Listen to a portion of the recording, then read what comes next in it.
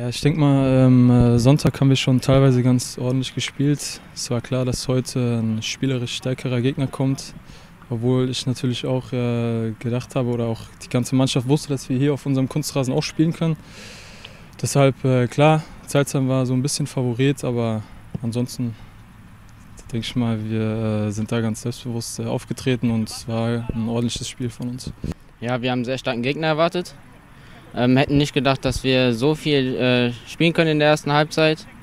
Wir müssen dann ja, das zweite, dritte Tor machen, dann kriegen wir einen dummen Elfmeter. Muss langsamer machen, dann ist schwer. Ähm, ich denke, der Knackpunkt war einfach, dass wir, ähm, als wir 2-1 hinten gelegen haben, ähm, wenn wir da das 2-2 machen, dann kann das Spiel äh, kippen, dann können wir gewinnen. Ähm, so haben wir das 2-1 nicht gemacht und ähm, dann ist am äh, Ende Zeitzeit einfach kaltschnäuzig gewesen und äh, ja, dann war das Spiel sozusagen gelaufen. Ich denke, am Ende hatten wir einfach mehr Kraft, mehr den Wille, das Spiel zu gewinnen.